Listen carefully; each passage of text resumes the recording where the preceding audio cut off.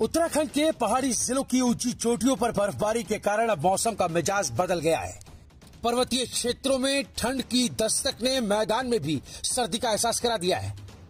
आपको बता दें, दो दिन पहले तक उत्तराखंड के पहाड़ी क्षेत्रों में बारिश और बर्फबारी से यहाँ मैदानी इलाकों में तापमान में गिरावट देखने को मिली है।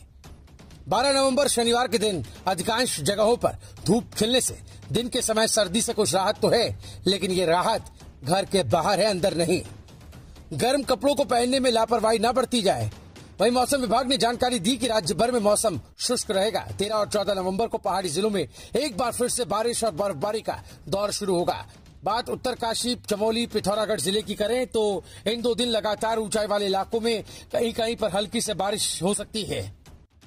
3500 मीटर या उससे ज़्यादा की ऊंचाई पर बहुत हल्की से हल्की बर्फबारी होने की संभावना है। इसके बाद 15 और 16 नवंबर को मौसम साफ़ रहेगा। बात तापमान की करें तो शनिवार की सुबह 10 बजे देहरादून का तापमान 19 डिग्री सेल्सियस के नज़दीक था। इसके अधिकतम 23 डिग्री और न्यूनतम 12 डिग्री सेल्सियस रहने की संभावना है। Bureau report रायशुमारी